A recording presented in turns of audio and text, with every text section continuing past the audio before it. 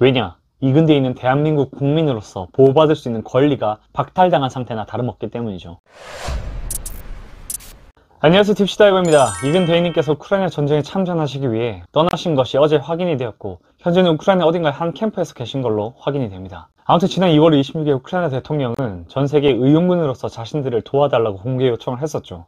이에 이근 대인님은 계획과 준비를 마치고 정부에 공식적으로 의용군 참전 의사를 밝혔으나 의견 마찰로는 대한민국의 공식적인 의용군으로서 참전은 불가능하게 되었고 아마도 비공식적인 방법으로 현재 우크라이나에 참전하신 걸로 확인이 되었습니다. 이로 인해 이근 대인님은 정부에서 여행 경보 4단계, 즉 여행 금지 국가로 지정한 우크라이나에 입국함으로써 1년 이하의 징역 혹은 1천만 원 이하의 벌금형에 처하는 법적 처벌을 받게 됩니다. 고로 현재 이근 대인은 범법자라는 거죠.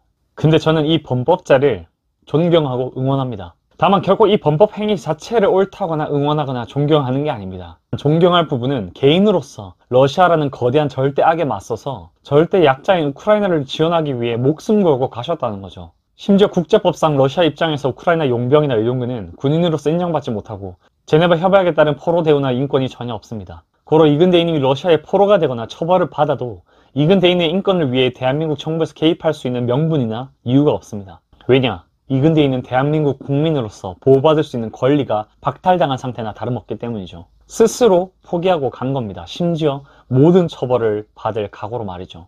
근데 여러분들은 이러한 자신의 권리와 목숨을 내려놓고 우리나라도 아닌 타국을 위해 싸워줄 수 있으시겠습니까? 그것도 승전이든 패전이든 귀국하는 순간부터 범죄자가 될지도 모르는 리스크를 안고 말이죠. 물론 이근 대인님의 범법 행위 자체는 잘했다라고 칭찬할 수 있는 일은 절대 아니지만 어쩌면 우크라이나의 자유를 위한 밑거름이 될지도 모르는 가치 있는 이름에는 틀림이 없어 보입니다.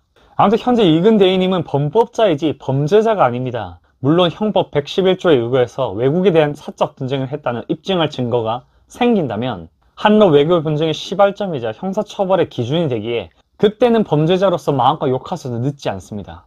그러니까 우선 살아 돌아오길 바래야 될 것 같습니다. 희대의 외교 분쟁 범죄자가 될지 우리나라의 위상을 떨친 우크라이나의 영웅이 될지는 살아 돌아온 뒤 그때 가서 판단하면 될 것 같습니다. 부디 이 전쟁이 빨리 끝나서 이근대님 행보가 국제 외교 분쟁이 아닌 범법에서 그치길 바라고 무엇보다 무사히 귀국하시길 바라며 우크라이나의 평화가 있기를 기원합니다.